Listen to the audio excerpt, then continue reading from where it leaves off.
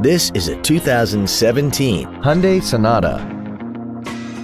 This four-door sedan has an automatic transmission and an inline four-cylinder engine.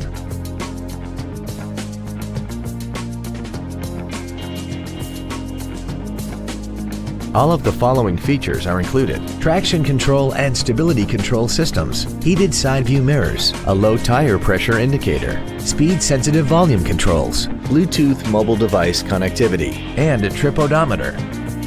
We hope you found this video informative. Please contact us today.